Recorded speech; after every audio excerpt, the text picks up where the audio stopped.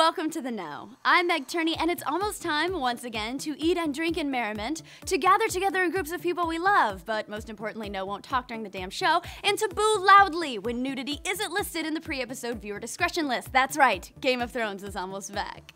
There's no denying that the show is a smash success, and as each season comes and goes, we get closer and closer to the terrifying reality of running out of source material. Now, initially for book readers, it seemed that nothing could surprise them, but earlier this year, we got the news that the show would eventually kill off some characters considered safe in the book series. And now, book readers, your cage has been even further rattled as show creator David Benioff has confirmed that the TV show will eventually spoil the book series as they roar past what George R. R. Martin has released so far.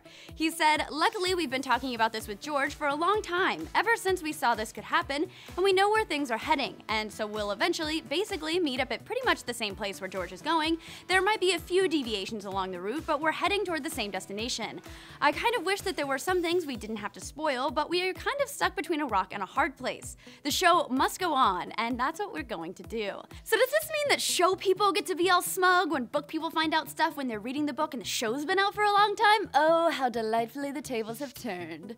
Benioff went on to say that he doesn't think the show revealing the ending will deter people from finishing the books. On the contrary, he believes that those who love the show will be more encouraged to turn to the books to find out more about their favorite characters. So, do you guys agree? And what do you think of a show revealing the ending of the books? Let us know in the comments down below. Don't forget, you get the very best in video games and entertainment right here, so make sure you like this video and subscribe to this channel so you can know what we know and be in the know on this show.